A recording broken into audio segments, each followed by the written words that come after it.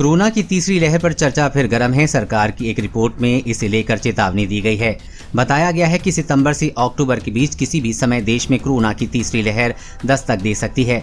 बात सिर्फ़ यही खत्म नहीं होती है। एक अलग रिसर्च में वैज्ञानिकों ने यह भी बता दिया है कि तीसरी लहर कब पीक पर पहुंचेगी।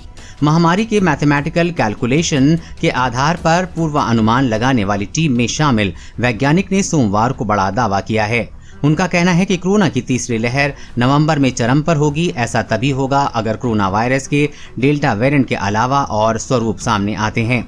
साथ ही वो सितंबर के अंत तक पूरी तरह से सक्रिय हो जाए उनका कहना है कि कोरोना की दूसरी लहर की तरह तीसरी लहर में मामले में तेज़ी नहीं आएगी और संभव है कि इससे काफ़ी हद तक पहली लहर की तरह स्थिति उत्पन्न होगी। शायद ना भी आए तीसरी लहर। भारतीय प्रौद्योगिकी संस्थान कानपुर के वैज्ञानिक मनिंद्र अग्रवाल ने कहा कि अगर वायरस का नया वेरिएंट नहीं आता, हो सकता है कि तीसरी लहर आए ही नहीं। अग्रवाल तीन सदस्यीय विशेषज्ञ टीम का हिस्सा हैं जिसे मामलों की संख्या को लेकर पूर्वानुमान लगाने की ज़िम्मेदारी दी गई है। अग्रवाल ने कहा है कि नए आंकड़ों के आधार पर हम कह सकते हैं कि देश कोरोना महामारी की तीसरी लहर के चरम को नवंबर में देख सकता है। बशर्ते वायरस के अधिक संक्रामक वेरिएंट सामने आए। उस स्थिति में हम रोज़ाना एक दशमलव पाँच लाख तक नए मामले देख सकते हैं। ये नवंबर में चरम पर होगा। हालाँकि इसकी व्यापकता दूसरी लहर की तरह नहीं होगी, लेकिन पहली लहर से मिलती जुलती होगी।